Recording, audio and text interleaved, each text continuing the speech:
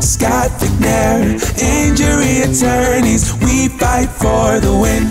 All right, good morning, everybody. Welcome to the Overruled Podcast brought to you by Scott Vicknair Law Firm. It is a great day in New Orleans, and my usual co host, Brad Scott, is too good for us. He's in Italy this week on an Italian adventure with his wife, Liz. I'm kidding. A much deserved vacation for Brad. And so, welcome to the podcast to one of our senior litigation attorneys, a good friend of mine um, and a great member of the firm, Caitlin Carrigan, who's going to co-host today's episode with me. Very glad to be here.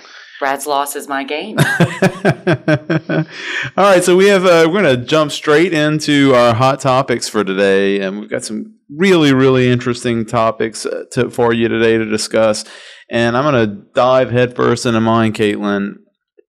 You know, it's funny. Kyle came off office this morning and was like, "I'm pretty sure I know what you're talking about today because the LIV Golf PGA Tour DP World Tour merger. How do I not talk about this? This is the big, big news. Just broke yesterday morning. Um, for those of you who don't know that much about it, about I assume it was nearly about a year and a half ago.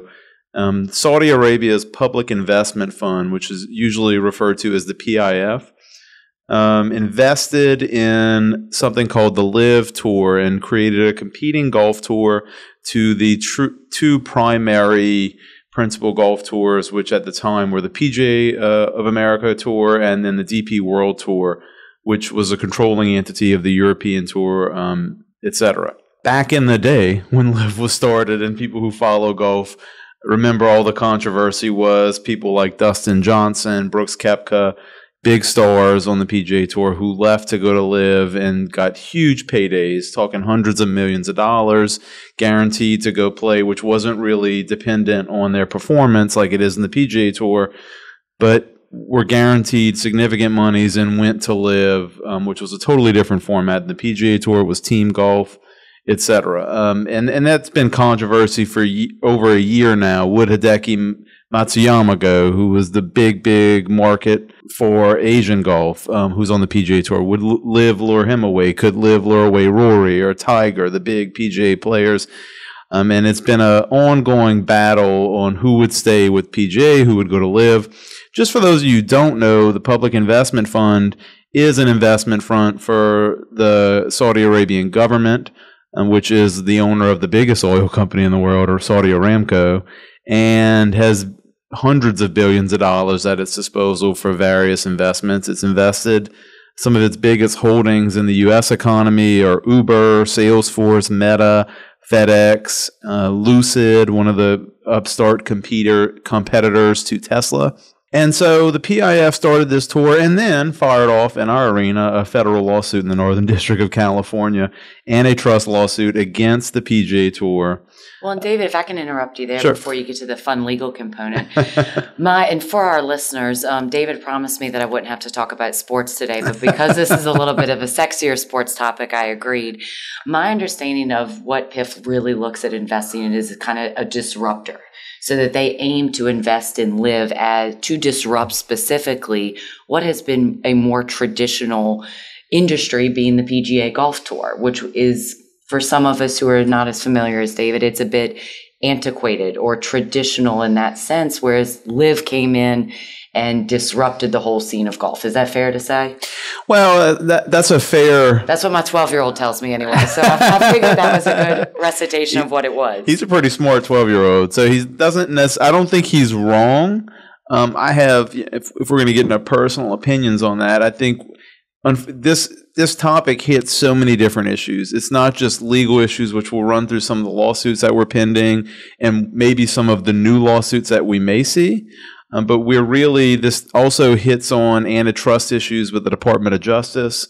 Um, whether the Security and Exchange Commission, the SEC, would approve this merger, which is all delving and hitting into this this pit of like geopolitical issues related to Saudi Arabia, the Middle East, Iran, um, and, and, and our country's level of comfort of having certain amounts of investment from the PIF, which also then hits all kind of hot button issues related to the clear and unmistakable murder of Jamal Khashoggi, the Washington Post journalist, by the crown prince of Saudi Arabia. And this was, it seems that it was not that long ago. I think it was about four years ago in 2018 when he was basically cut up at an embassy in, um, I, I, don't know, I forget the country that he was murdered in um, by the Saudi Arabian government.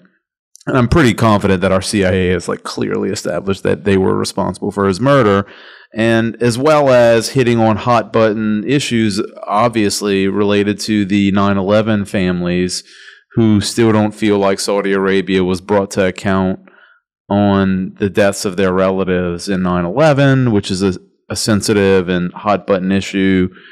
Um, and so, yes, I would say the PIF does see itself as a disruptor, but I, I think I have like a skeptical view of it from the standpoint of like I don't think that Saudi Arabia, if you're looking at what is their end game with all of this stuff, what's the big picture? Is it really investment? Sure, they want to make money, but they're never going to run out of money as long as the world uses oil because they own Aramco.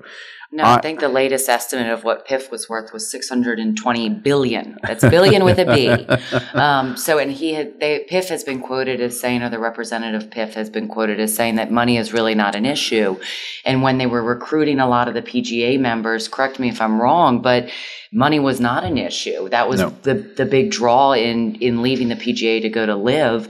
And if I'm remembering some of the conflict between PGA and LIV that formed the basis of the the lawsuits, the players' lawsuits, was that some of the PR that the PGA used to basically attack LIV and prohibit the players from playing in any of the PGA tours was because of the Saudi Arabia connection um, and they just kept calling it the the Saudi golf team was what was quoted yeah. a lot.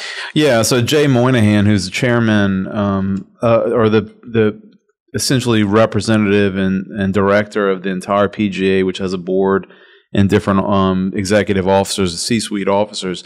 He, you know, is getting raked over the coals right now because back in June of 2022, multiple interviews um, with him essentially shaming the players who went to LIV and attacking LIV for their 9/11 connections and um, and kind of hitting them from this superior perceived position of the moral high ground, like it, you're dirty taking their money, and not just him saying it. If you go to the lawsuit in the Northern District of California, their lawyers in the counterclaim. So LIV sued originally sued, and there's multiple lawsuits now, which people may not be honest, as a lawyer and a golf fan, like I was unaware that there were multiple lawsuits other than the one in the Northern District of um, California. There were there are now four federal cases pending associated with all of these allegations. But what it all started with was the one lawsuit that LIV filed in the Northern District of California, claiming that the PGA Tour of America was a monopoly and violated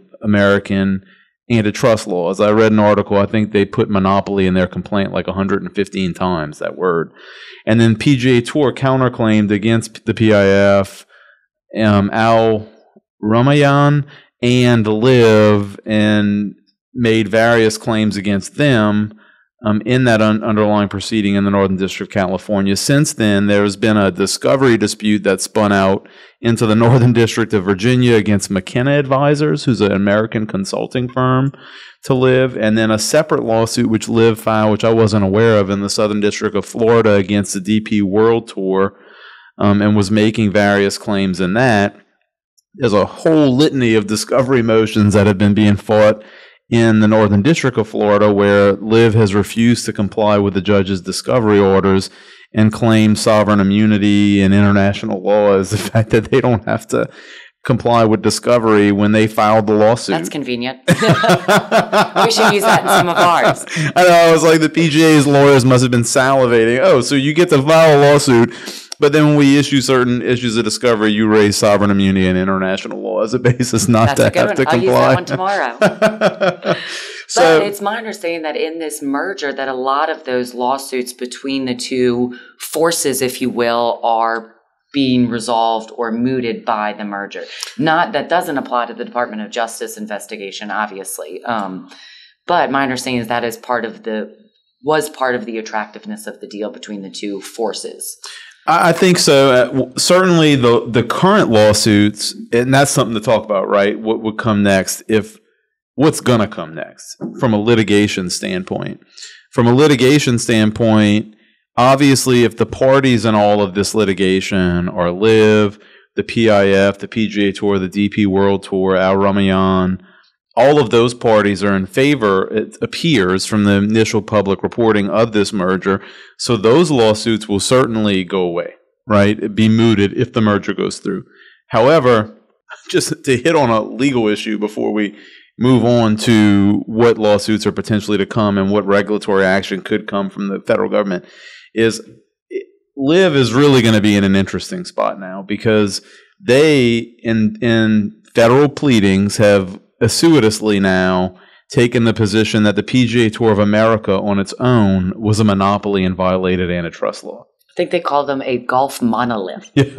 So yeah. that's a that's Yeah. something that sticks with you. Well, this proposed merger will now take the uh, who they claimed was a monolith and LIV, who was a competitor, admittedly, and DP World Tour, who's a separate entity, and merge them all together. So I'm no antitrust lawyer, but I do like to think I have a little bit of legal common sense, and I I would suspect that the proper party with an appropriate with legal standing is in a unique position to potentially seek an injunction or other type of legal action to stop the merger based on antitrust law issues or sue to break it up after it happens claiming that now it is a like super mo- monopoly if all this new entity would control the entire market of golf um, and so i don't know where that would fly from right Well, From- and it's kind of for for a non-golf aficionado, it's kind of strange to think about golf in this context specifically. You know, you think more antitrust when the Department of Justice Department of Justice shot down the Spirit and JetBlue merger. That to me is more typical of where you think they would get involved, but here we have golf. You know, it's being played on loop at my house on Saturday and Sundays, and you don't necessarily think that's something the Department of Justice is going to get involved in. But I agree with David wholeheartedly is that from a legal standpoint, you know, they almost don't have a choice. Yeah, I think also the thing to that's going to be interesting to watch because we were talking about this about what Ryan thought about, um, which I'm not leaving one For y'all who don't know, Ryan is Ryan is my oldest son, and um, much to his grandfather's chagrin, is not as interested in golf as he as he could be, um, but is getting there. And this certainly kind of appeals to a little bit of drama, which has been really not present in golf as long as I've known it to be around. Yeah, well, I think the the thing, the aspect of it from the DOJ standpoint is this: I have a skeptical view personally of the PIF. I don't think it's about making money at all. I think it's about strategically placing Saudi Arabia investment in certain assets in unique markets, being Europe and the United States, so that Saudi Arabia over the next 50, 100, and 150 years is making their investments and their country such an integral part of our economy and the fabric of our economy that when there are military or ethnic and and religious conflicts in that region of the world that will be so leveraged to them that we will have no choice but to make decisions that are based upon economic levers and pressures.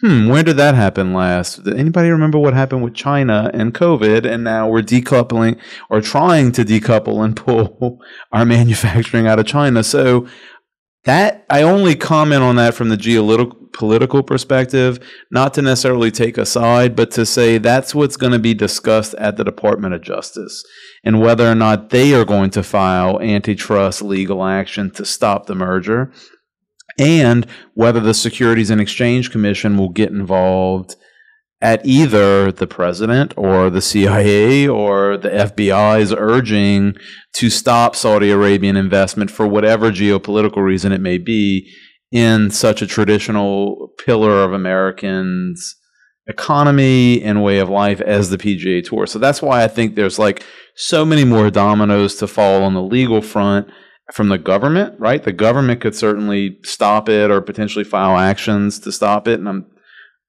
almost 100% confident those conversations are happening with assistant attorneys in the Department of Justice's antitrust division, right? We know that's happening and they're discussing it right now.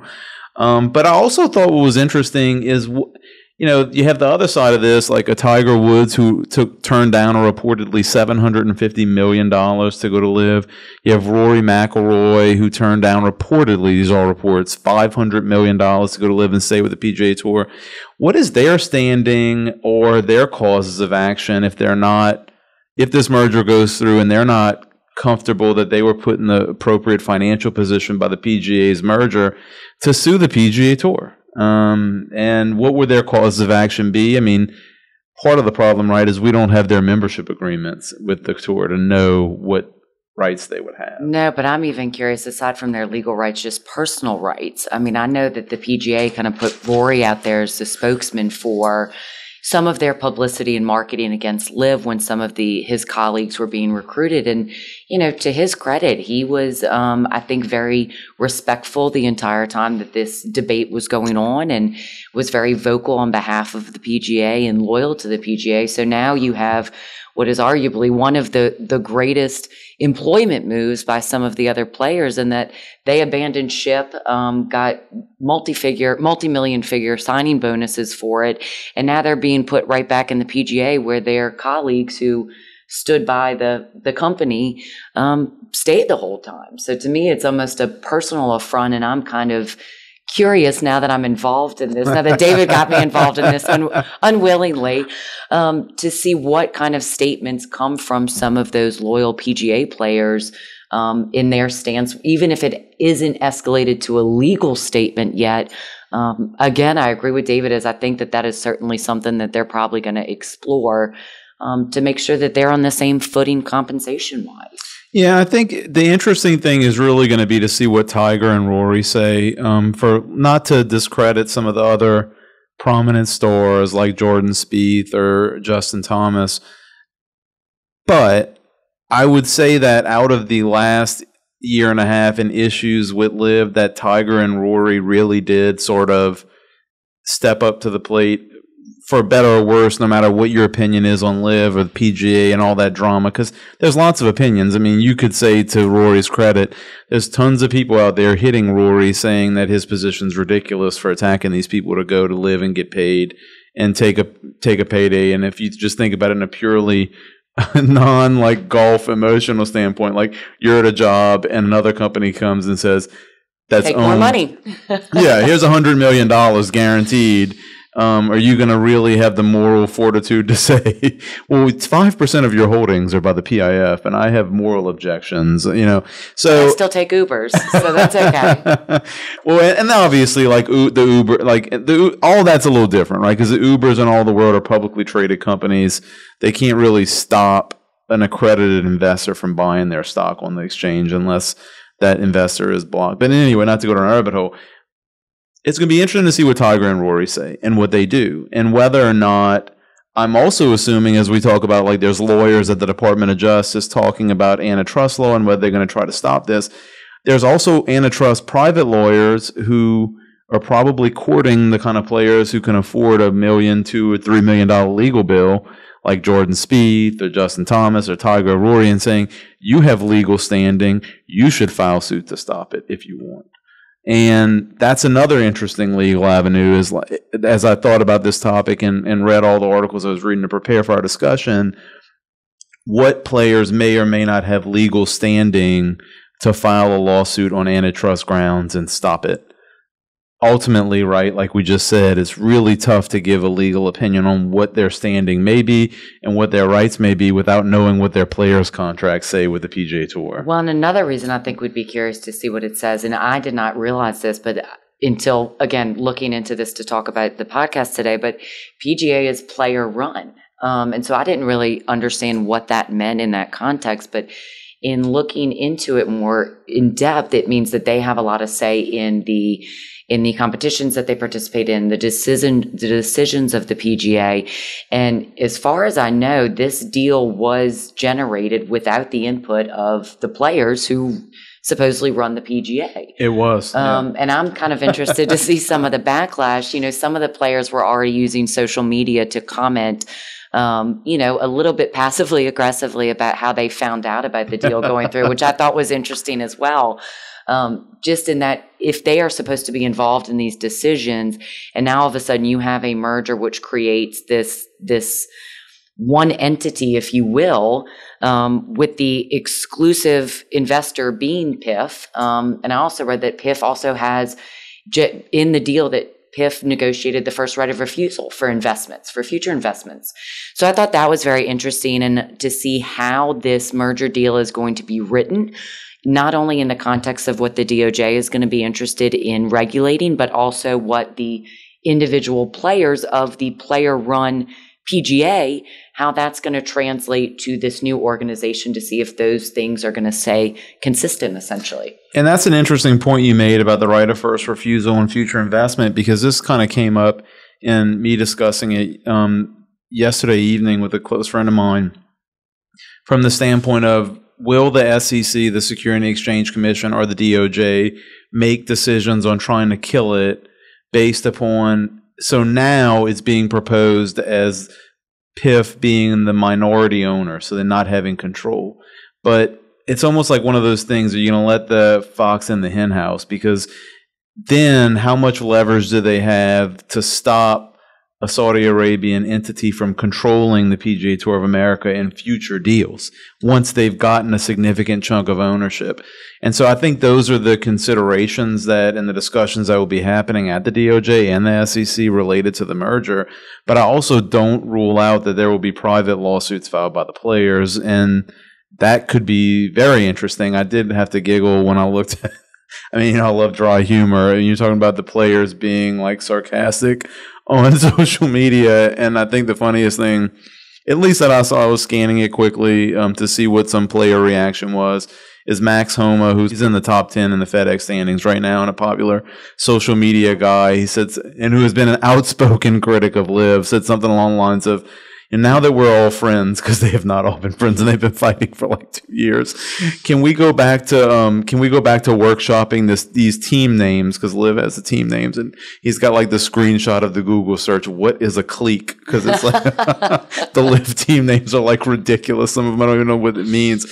So I thought that was pretty just funny and humorous. But um, the the player reaction is going to be fascinating. But as a lawyer, right, I am like really interested to see both on the private lawsuits and the government potential lawsuits and regulatory actions. Like, how is this whole melting pot of personal opinions, geopolitical issues, antitrust law, Gulf, Saudi Arabia is a lot to unfold before this whole merger goes through. And it's going to be, until one of my friends asked me about it yesterday, I said, just get your popcorn ready. It's going to be interesting. that it is. And as a mom, I'm going to be interested to see if my little one is going to play golf now.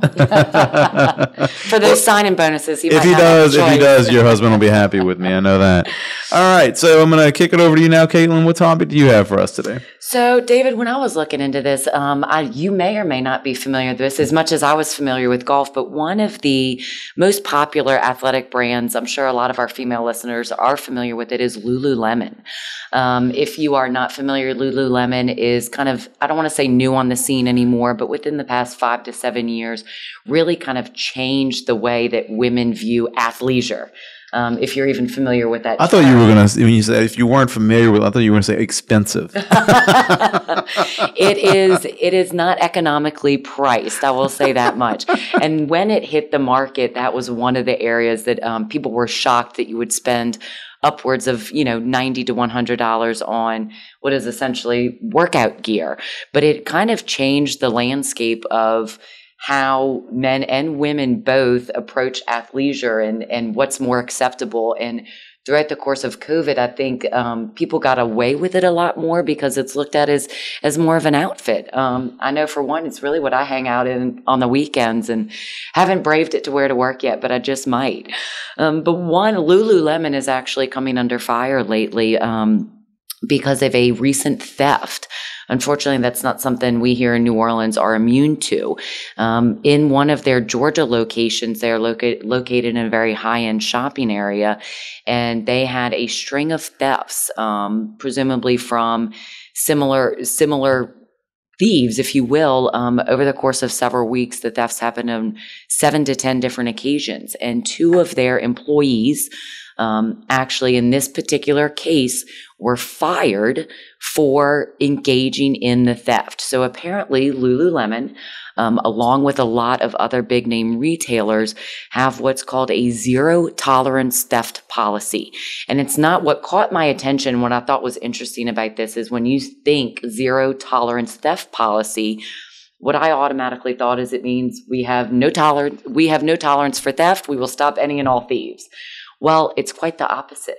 Um, come to find out, the zero to- zero tolerance theft policy means that they do not prevent the theft in their retail outlets. Um, and so initially it's it, it, sounds crazy right? Why would they have this kind of policy? Why would other international retailer stores have this similar policy? But they are putting safety of their employees at the forefront of the theft. The ceo calvin mcdonald um, has stood by the firing of the two lululemon employees in saying that they because of their policy and because they have such a strong interest in furthering this policy, um, they are standing by the firing of these two employees. It's not because the employees called 911. Um, it is because they engaged in the theft. And Lulu's Lemon, Lululemon's policy is that they put the safety of their employees and their customers at the forefront. Um, he was quoted as saying, "Look, you know, do we do we promote theft? No, but it's just merchandise at the end of the day. What did I had this question as I kind of like was briefly reading about this. What did they do? So the thieves in this particular instance ran into one of the, you know, the stores are beautifully arranged, obviously, to catch your eye and make because you want to spend because it's expensive. Right. um, they make you think that you need to spend hundred dollars on workout gear, even though you don't work out. But um, so they the store is arranged in a way that you have some some displays up front. So the thieves ran into the front doors of the store, grabbed the merchandise off the front, and ran right back out. Um, and this has happened in this particular store and what this whole issue like, centers what, what did the I don't want to interrupt you. What did the employees do? so this is the situation. Right. What they are supposed to do, according to Lululemon's policy, is nothing. They are supposed to wait until the theft is completed and then call 911 to not scare the customers, not put themselves or the customers' lives at danger.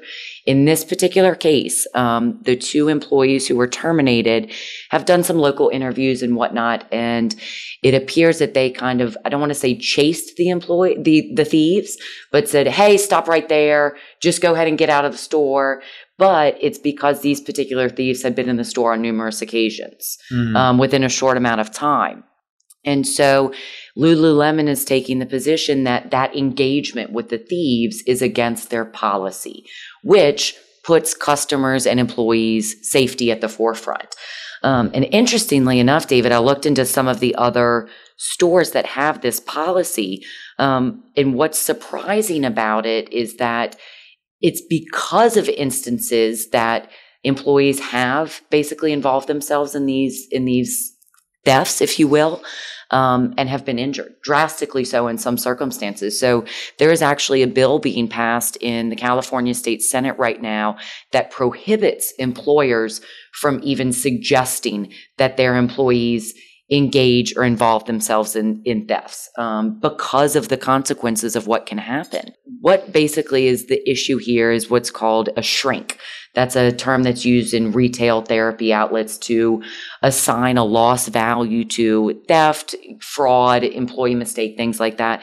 And shockingly, it is worth an annual 94.5 billion right now Wow. um, which is these retailers are going to have to figure out a way to go about this. And these policies are an attempt, I don't think, to stop the theft, but to place their employees' safety at a higher priority than this shrink rate, um, which I thought was was absolutely crazy to say that this is how much is being is being stolen on an annual basis. Um, That's an insane amount of money. And I guess one one thing our listeners are probably thinking right away is what is somebody's legal option if they are terminated from the outside looks like a good deed or having some courage to try to stop somebody who's committing a crime.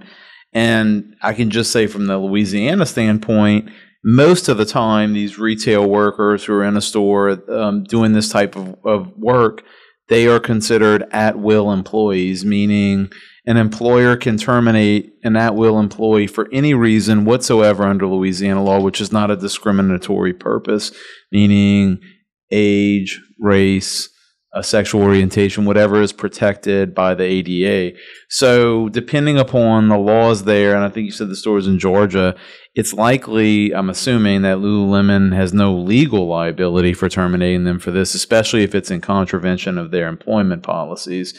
But I guess it does raise like a larger societal like legal issue, which is are they encouraging theft by the thieves knowing that they have a no engagement policy? Well, and what are the consequences of those types of bills, right? And that's kind of crazy because if you know if you've looked into this kind of thing, you'll see that there there are strings of thefts, whether on a small scale or large scale. They're called, um, I think, b- blast robberies, where you have 10 to 12 people go into a high end luxury store and steal handbags off the shelves that are worth several thousand dollars a piece. And so they end up running out of one store with, you know, thousands of dollars worth, worth of in- inventory versus, you know, a smaller scale like the Lululemon theft, where they probably walked out with, oh, I don't know, $900 worth of spandex pants. um, and things like that are being sold on the black market. But one of the interesting things that I think that stores are trying to do, um, you know, and this kind of goes back to one of our previous podcasts. If you all haven't listened to it, Brad mentioned AI and how that is having its place in, you know, various industries. And this is a industry where we are starting to see AI, which I thought was interesting. So Lowe's, in fact, has a, a, a trial run where they are using AI robots in one of their Philadelphia locations. So the AI robots are not only being used to help cater to some of the theft, um, but they're also being used, as you can probably assume, um, to gather customer data. So these AI robots have are on a 24 hour camera spool to monitor what's going on in the store. They take thermal imaging, they scan license plates in the cars. That's all more towards the theft component, but they also monitor what customers are wearing, their shopping habits, things like that all at the same time. So this is something where some of the retailers are being are looking to implement this as a theft reduction. Um, I don't think it's it's such it's in its infancy stages right now, so I don't really see how that's worked out. Um, I guess I have some healthy skepticism. Are they using the AI for theft reduction, or are they using the AI to collect more customer data with a veneer of theft reduction to, to I- limit the, I the blowback?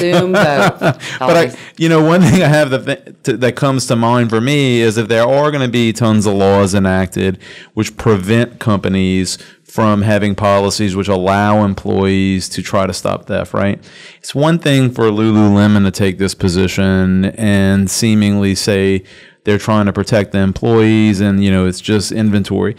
Now, Lululemon is one of the higher end type of sportswear brands, right? Like, and so I would assume have higher margins and maybe it costs them ten dollars landed to do a piece of spandex that they'll sell for ninety or hundred dollars.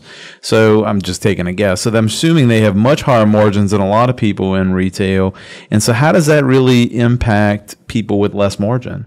And the companies and the small businesses who pay more distributors and middlemen that cuts into the margin before the final product goes out.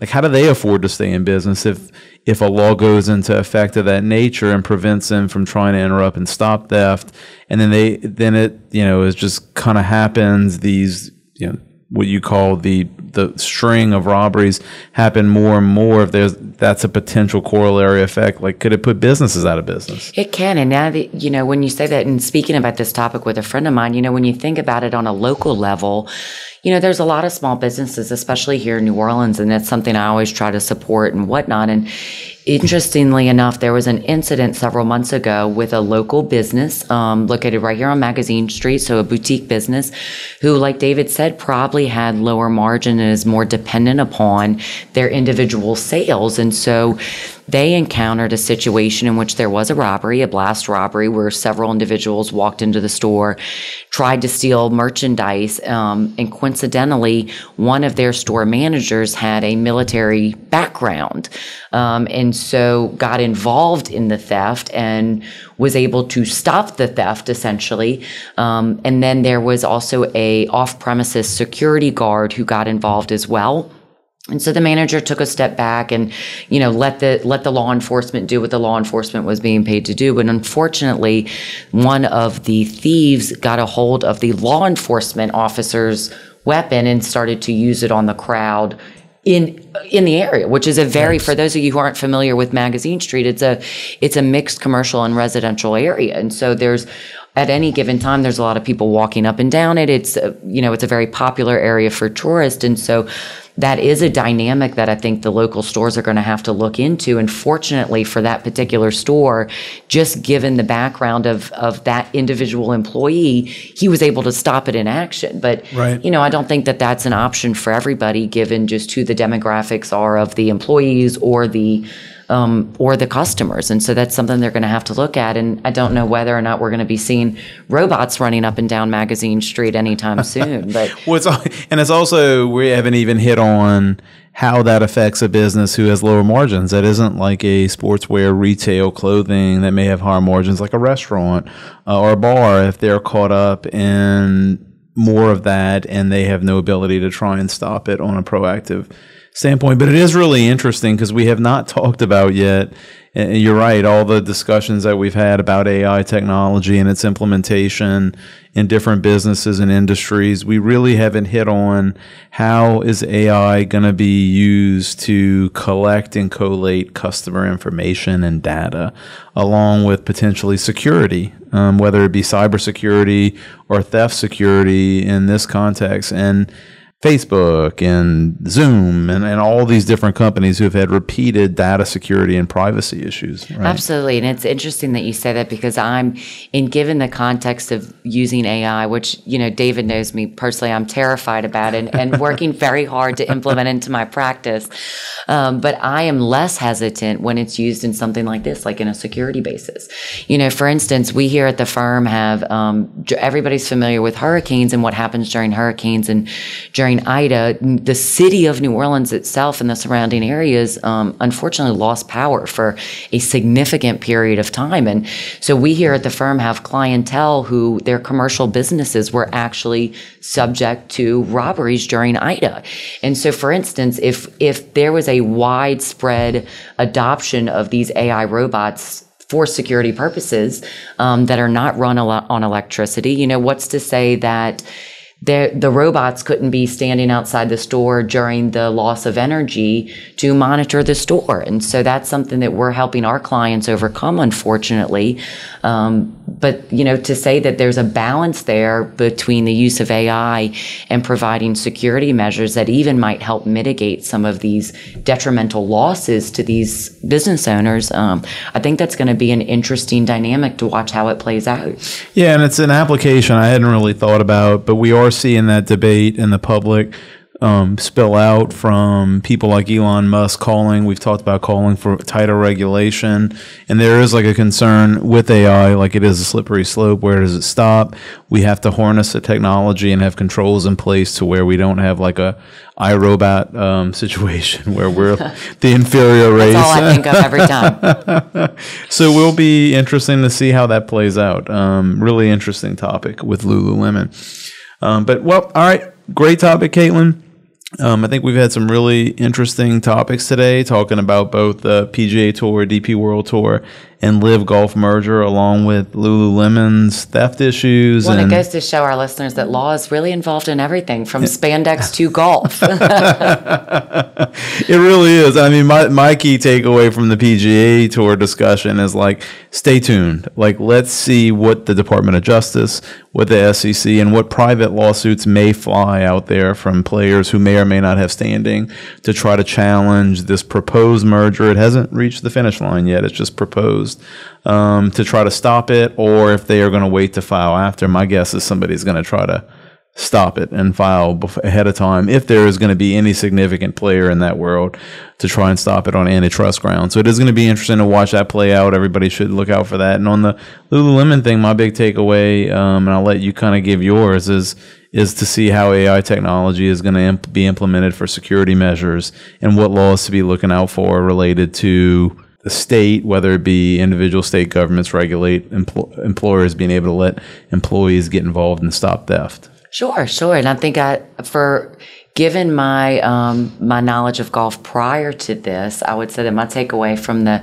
PGA LIV merger is that it it interests a whole new generation of non golfers, if you will, to kind of follow along and see what happens. I mean, it it takes golf um, to a whole nother level and a business perspective that I think some of us haven't given it credit for beforehand. And so, um, you know, maybe there'll be a Bravo spinoff before we know, and then you'll see a whole new demographic of followers. I don't, I don't see Andy Cohen really. Uh, uh, oh, you might my words, David Vicknair. I'm waiting to see the the Housewives of the LIV Tour coming on play, um, which also interests me in Lululemon. I'm interested to see how that works out, and and like I think everybody, I'm kind of on um, you know cautious but excited about AI to see how this can possibly help or hurt businesses, and especially here locally in New Orleans and our and our clients that we help represent. So if there's, I'm liking to see how how that plays out. Awesome. Well, thanks for being here, Caitlin. Thanks for co-hosting with me. Can't wait to have you back. We'll have you back very shortly. Thanks, Brad, for going to Italy. Yeah. um, and and so uh, you know, I will say a much more positive topic than Brad. He's usually like scaring people on this show. So it's been nice to have a refreshing topic from you and have you help me co-host the show. Thanks to all our listeners. Thanks for being with us. I hope you enjoyed the discussion today. Once again, this has been the Overruled Podcast brought to you by the Scott Vicknair Law Firm. Can't wait to see you next time, and we'll talk to you later. Thanks all. Scott Vicknair, injury attorneys, we fight for the win. Information is for illustrative purposes only and does not constitute tax, investment, or legal advice. Always consult with a qualified investment, legal, or tax professional before taking any action.